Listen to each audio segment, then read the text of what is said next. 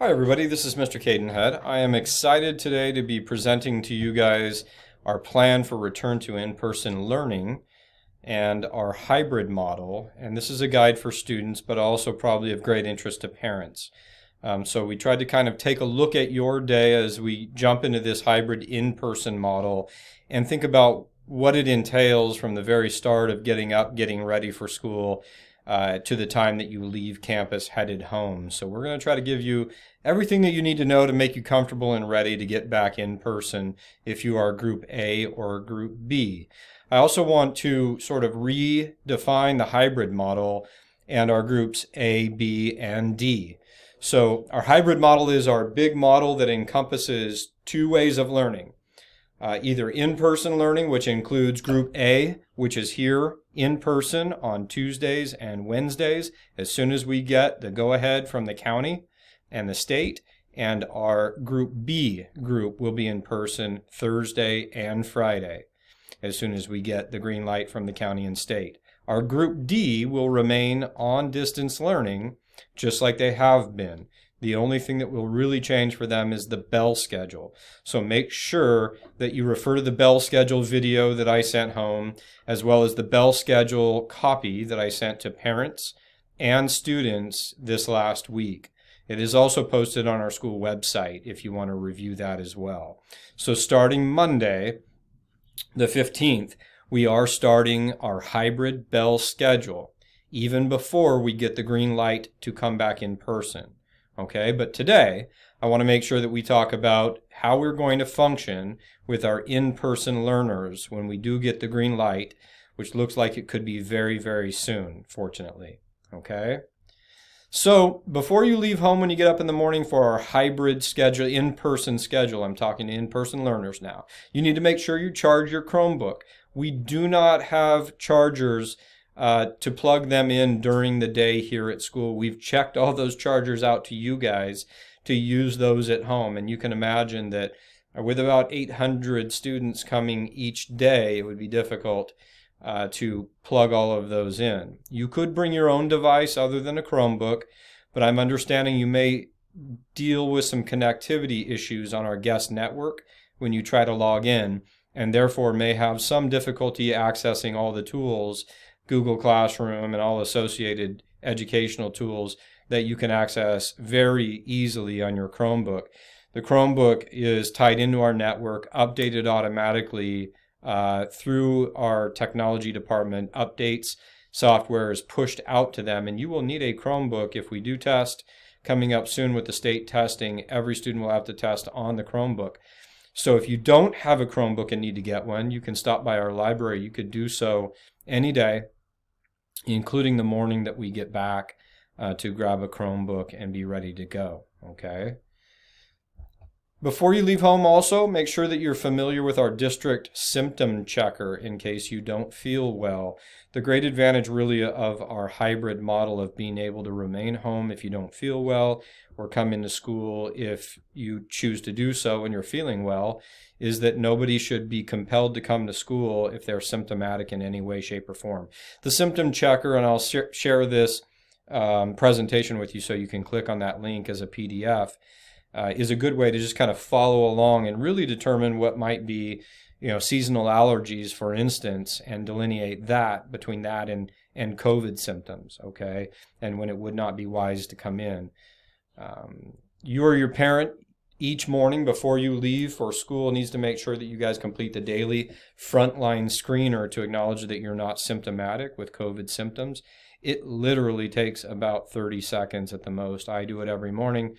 Uh, I believe I check one box and hit submit. It's pretty simple. Um, it does ask you if you are symptomatic in some ways, and if you are, um, you can refer to the screener and you can also refer to the questions and answer the questions honestly in the frontline screener. So it's a pretty simple deal, but we are going to ask you to do that on a daily basis as a good reminder uh, in these times that you shouldn't be coming to school if you're symptomatic in certain ways. Uh, you can begin that by selecting Activate Account uh, if you go to that link and uh, your any email that you have entered in parent guardian email can be used in order to get that um, symptom checker sent to you and checked in the morning, okay, and create create some kind of link to it. Um, we're trying to come up with other ways that maybe will be more um, efficient for our high school students also to log in themselves and do this themselves. So hold on on that, and I'm hoping I'll have more information soon for you guys if we're able to work with Frontline and have our students complete that themselves. We know that you guys have the capacity to make those decisions yourselves.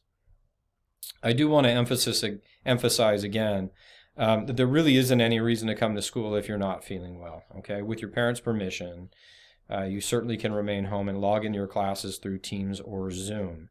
So just like our distance learners will be doing, they'll be with you when you're in person, A and B group. Group D will always be logging in at the same time you are and seeing what you see through our cameras in the classroom. So if you have a sore throat, um, and coughing, etc., sneezing, whatever, sore throat combined, and it's not just seasonal allergies, stay home. Log into your class. You will be marked present, and I'll cover that again in a few minutes. Okay. Again, we understand seasonal allergies. Many of us suffer from seasonal allergies, so we're not looking to send anybody home because you've got seasonal allergies. We certainly can differentiate between those things. So our in-person students, uh, in terms of attendance, that's groups A and B. You guys are going to be marked just like you were in the past, okay? So when you're present, it's going to say present. If you're not present, if, if you don't log in in any way or show up in any way, you're going to be absent. If you're group A or B and you choose to stay home with parent permission, and let's say you don't feel well and you log in through Teams or Zoom, your teacher is going to mark you uh, distance learning present or DLP, just like they are now. So again, uh, in-person learners can be present in one of two ways, marked present and get credit for attending in one of two ways. Show up in person or stay home if you don't feel well with parent permission and log into your class and get marked present by your teacher, okay? If you do stay home and you log in that way, uh, and you uh, get credit for being present through distance learning, parents don't need to notify the school because that counts as positive attendance. But parents do need to recognize that a phone call won't go home notifying them that the student was home and absent. So parents will have to check on parent portal to see if their student was marked DLP on any day when they expected them to be present. Okay. Um, in terms of distance learning uh, students, who this would be uh, students actually on track D, not A and B. Sorry, uh, that is my error there. I will change that before I send that out to you. So attendance for distance learning students on track D. This is going to remain the same that you've been doing all along on distance learning. Um, so you will ever always uh, be marked DLP for distance learning present or DLA for distance learning absent. Okay, so nothing changes for our distance learners, our group D. Okay, so before you leave home, make sure that you guys have with you a copy of your schedule, especially the first couple days, and particular, particularly those of you who are new to our school. Uh, make sure that you have a copy of the three classes you're going to attend that day with the room numbers.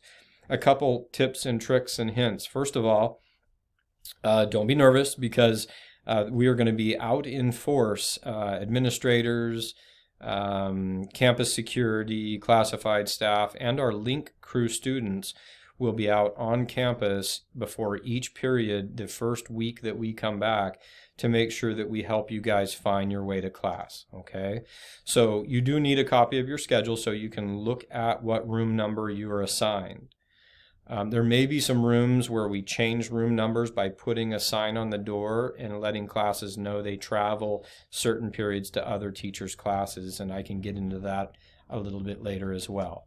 Make sure you have your charged Chromebook with you every single day. Uh, make sure that you have a mask and likely a backup mask. I address that later on as well. And if you want to have a snack, it's a little bit of a long day. Remember, we start at 8:30 and we get done at 12:20 uh, for your grab and go lunch.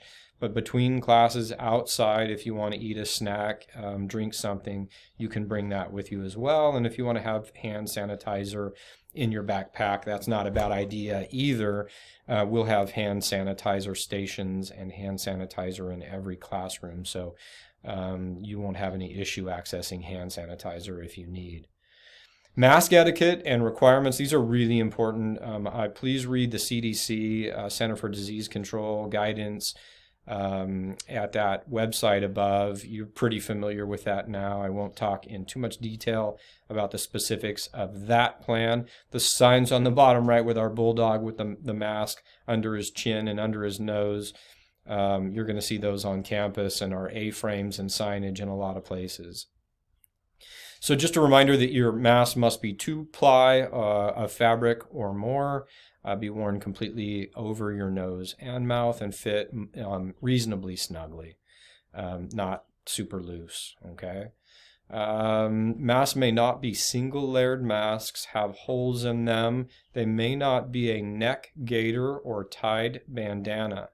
Um, we have provided gaiters to our athletes and we have uh, approved them for use outside and during athletics, but they are not approved for classroom uh, purposes. Okay, so these the gaiters that I tried to demonstrate in the picture for you guys with the red X.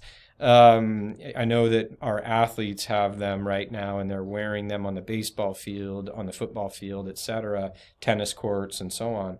But that's the purpose of those gaiters. They are a thin gaiter. They help, but they certainly don't help enough to sit next to somebody uh, six feet apart for 70 minutes in an indoor setting. So we want you to be safe. So no gaiters, please. Okay. If you need a mask, you can always ask your teacher. We do have uh, reusable masks uh, for those who need them, cloth masks. And we also have disposable surgical masks if you have a mask that breaks or becomes soiled in any way, shape, or form. Okay, but I would recommend that you keep an extra mask always, as I said, in your backpack and maybe in a plastic bag so you keep it clean in your backpack so you can access that at any time. I know that most of us have those these days, but it's a good reminder as you set up your backpack and get ready to come back. So as you arrive or leave school, make sure that you put your mask on when you enter campus, and you're going to need to wear your mask on campus uh, unless you're eating a snack during our transition times. Um, please do not arrive prior to 15 minutes before your first class starts. We're trying to uh, minimize congregating on campus and make sure everybody's able to uh, stay six feet apart. Remember, we want to be in person. And if we have transmissions, we have positives, and we have folks quarantining, the more that we have that, the harder it is for us to remain in person. And our goal is to stay here and get you guys back to normal, okay? So make sure you do a good job of not congregating and not hanging around campus for right now. Hopefully next year we get back to normal, but please move off campus within 15 minutes afterward, after you get your grab and go lunch potentially. So as you navigate campus, um, you can choose your path of travel really on campus. Uh, on our outdoor spaces, we kind of have an advantage of being a primarily outdoor campus. And, and most of the, the time, you guys all know, except for maybe some of our freshmen, that the doors open and you can go about a hundred different directions and scatter around campus. You won't have any trouble uh, finding a path of travel that will allow you to socially distance. You may pass by somebody uh, on your way, but not for any length of time. And um, you have plenty of time between classes now that we move the passing period to 10 minutes really to find your way.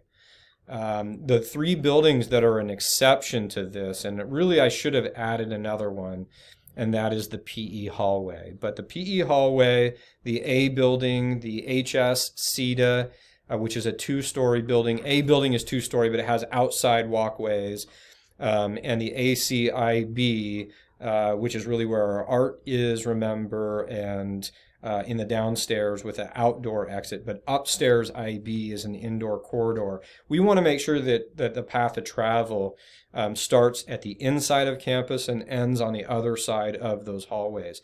That way, everybody is traveling in the same direction. We're going to slightly stagger our release of classes in that um, each teacher will release one row then the next row, then the next row, and stagger the release of their class so the hallways are not overly crowded and you can safely travel out and down the steps. Okay, so um, same thing with A building. Even though it's outside, we've established that we go up the stairs closest to the center of campus. we go around the outsides of that building and then go down the back stairs, which is closest to the parking lot. Um, PE hallway, we go all the way around to the back by the basketball courts in the outside near the baseball field and come in the, the, the opposite way that you would normally come in. And it's one way directional travel. So you would go in by the basketball courts, out by the center of campus. So it's a little bit the opposite. All right. Otherwise, I, am confident that our students will have every opportunity to choose their path of travel and make sure that they're safe and socially distanced. There's a lot of signage around campus that you guys need to observe, and we really need need your help with this. Um, especially the first couple days that you navigate these spaces. Just really be aware of the signage. We did our best to create signage that is going to be friendly for you and it is also going to be clear and try to remain on these surfaces. But you'll get used to the direction of travel. There are one-way arrows on the ground. There's exit only on doors entrance etc um, and you guys will get used to it relatively quickly and we'll have campus security attendants and link crew in certain places in the first few days to help assist you guys with that directional travel. Um, you see more safety signage here in our update, up, excuse me, upstairs, A corridor, outdoor hallways. You're seeing the arrows on the ground um, and the directional travel outside in that A building corridor outside.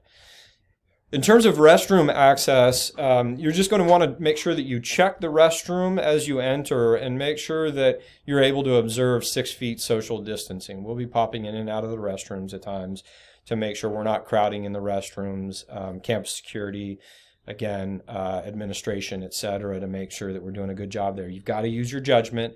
If you do see that there are too many people in there um, that you cannot socially distance appropriately, stand on one of the dots and wait. If somebody's standing on a dot and waiting, uh, for somebody to come out of the restroom, stand on the next dot behind them, please, and wait until uh, they go in and then move forward. You guys have gotten used to this process in many places in our communities that we're navigating now.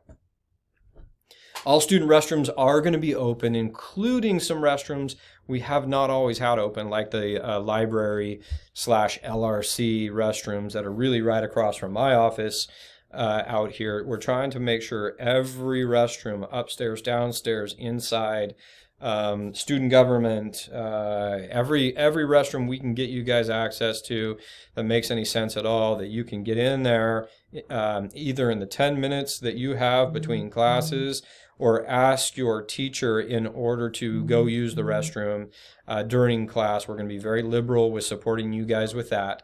Um, so you can use the restroom if you're going to class, for instance, and the restrooms are very full and you want to check in with your teacher, stay for about five to seven minutes, then use the restroom. Uh, when things slow down a little bit, you're, you're welcome to do that as well. Um, they're going to be restrooms will be serviced uh, multiple times a day, but typically right in the middle of that second period of the day where they, they will be sanitized. We'll be checking soap, paper towels, etc., to make sure that we're stocked appropriately to support good hand washing and hygiene. Okay, so passing period, as I said before, it allows 10 minutes for you uh, to choose your path of travel and ensure social distancing. And our teachers are not going to be assigning tardies. Administrators and campus security, we're going to take that job. So uh, we want you to feel comfortable that if you need a little bit of extra time to use a restroom, you don't have to panic and get to class because your teacher's going to mark you tardy. We do want you to get to class on time if it's possible. Um, so really, uh, what we are looking for is students who are getting themselves to class, they're waiting to use a restroom, but they're walking or moving expediently toward class, we are not going to mark you tardy.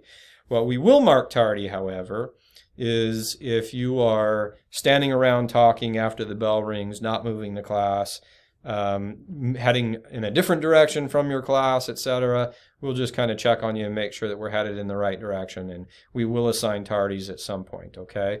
Especially for our incoming freshmen as well there's going to be a lot of grace the first couple weeks to make sure that everybody knows how to navigate the campus and find where they're going. Um, so no no anxiety or anything the first uh, week at least, if not longer, so that you find your class and you understand how to navigate the schedule. Don't worry, you'll be fine. It's a big campus, but it becomes pretty logical pretty quickly around here. Um, administrators, as I said before, uh, will be wearing a school themed shirt, like a, a bulldog polo, so that you can find us easily. And campus security and link crew students are going to be out on campus moving around. Campus security has campus security shirts. That's Marv, Lisa, and Leo. And then um, our link crew has link crew t-shirts that they'll be wearing that will identify them. And please ask us if you need anything. If you can't find your class, if you're looking for a restroom that is not uh, full or does not have a line, let us know and we'll point you in the right direction. Okay. Uh, one other thing I did want to address that I don't think I put in my presentation is that uh, we do have bottle filling stations. The bottle filling stations are available in the PE hallway, um, in our cafeteria multi-purpose room, in our um, administration building. If you need water, I would bring water, but if you need to refill your water, um, you may be able to ask an adult where the best place is to go. One of us standing out on campus that I just mentioned, where the best place is to go and fill your water. Um, in classrooms, seating charts are going to be mandatory, so we may be able to effectively contact trace if we need to. So I gave you a picture of a classroom here on the screen. We have carefully spaced out all the desks. We place tape uh, typically at the front left foot of each desk so we know where those desks belong and six feet apart. We've measured every desk from the center of seat to the center of seat. Um, we're going to bring you in to an assigned desk and ask you to stay at that desk. So if we did have a student who is symptomatic or positive, then we were able to sort of identify who the close occupants were around that student and not need to quarantine an entire class. Um, but they are very carefully measured. So please stay in your seat and make sure you observe your assigned seat. Every teacher will have their seating chart and they will be sharing that with you as well as likely greeting you as you come in the door on the first couple days and showing you where your seat is. So between classes, the desk surfaces are going to be misted with a disinfectant um, and it typically requires an, a, a 90 second drying time. What we use is called NEW or neutral electrolyzed water. It's a disinfectant and sanitizer solution. It is highly effective. It's a virtually non-toxic chlorine-based disinfectant, uh, almost like what you would swim in in a swimming pool with a slight, slight chlorine smell. It's been used in the agricultural field on fruits and vegetables for many years. Um, it is safe and effective for all surfaces. Okay, so when you come into class, uh, your teachers will have quickly misted that, given that a little bit of time to uh, dry. As you have 10 minutes, they'll do that right away so it gets a chance to dry before you come in. You should not even notice. Uh, if it is a little bit damp at all, we've put paper towels in every single classroom so that we can wipe that down and take care of that for you guys. Okay? Um, if you need an early dismissal from class, parents uh, can call the attendance office at the number listed there. Attendance will send a dismissal slip to the student in the classroom and uh, your teacher will dismiss you at the appropriate time and then you can meet your parent at their vehicle uh, up here in front of the administration building is the easiest place. We want to be able to make sure you're safe. Um, if you're a student who drives and you're just in the student parking lot, you can do that as well. Um, also, I do want to drop this in. We are not going to ask for a student um, parking permit right now. Um, we we don't have a whole lot of time to worry about that, and we have a whole lot more important things to worry about. So we may get there where we ask you to fill something out, but we certainly won't charge you for it if we get to the point where we ask you to fill out a form identifying your vehicle. Okay, so if we ever had to call a student and have them address something, we would be able to but we have no intention of selling a parking permit this year. Okay. So if a student is ill, make sure that you alert a teacher, campus security, or administrator, and you'll get a pass to the front entrance of the administration building. And at that point in time, when you walk to the administration building, uh, Miss Egan or Miss Gibson, somebody at the front desk will uh, send you to the right place or call a school nurse or um, call an assistant principal or a counselor or whoever you need to speak to. You will likely, if you're ill, be seen by our school nurse, health clerk, or an administrator. Okay, and we'll we'll work with you guys either on having a parent come pick you up and see what your symptoms are. Okay. Uh, if you are picking up school lunch, you can do a grab and go lunch. It is available uh, to in person students at the outside snack bar next to student government. So we will not be going into the multi purpose room for lunch. Um, but there is an outdoor snack bar that we use once in a while. Sometimes when student government uh, send or, or gives out gosh, candy, ice cream, different things uh, down in the student snack bar. Uh, and it is near the entrance to the theater between that and student government and student the old student store. So you can pick up your lunch and you can take it off campus and eat it off campus. Um, those of you who are remaining on distance learning, you can drive through and get your lunch like you've been able to do uh, in our staff parking lot down there on the other side of our kitchen. Okay, that will remain as well. Uh, let's see if we have anything else. I think that covers most of everything. Um, I, I, it should be a pretty easy transition for us. One thing, if you've not been on our campus before, uh, this weekend today, uh, as I'm recording this video for you guys, uh, it is the 12th, and so if you want to come on the 13th and 14th, or even the 15th, Monday, and walk around campus or Tuesday afternoon with a likelihood of us returning on a, on Wednesday if we get the green light from the state and county like we expect we will, you can come walk campus and look for your room numbers. Um, wear a mask, please. Uh, and just walk around and find the three rooms that you need on the first day and the three rooms you need on the second day and just orient yourself okay I think that does it for right now. If there anything else comes up, we'll try to address that with you guys as we go. But we look forward to seeing you guys. We know that we're going to have a safe, successful return to in-person learning. And as always, if you have questions for us, please email. You can talk to your teacher first because they're going to be well educated about this your counselor, your assigned administrator, and you can always get in touch with me. I appreciate you guys and hope you guys have a good weekend. Take care.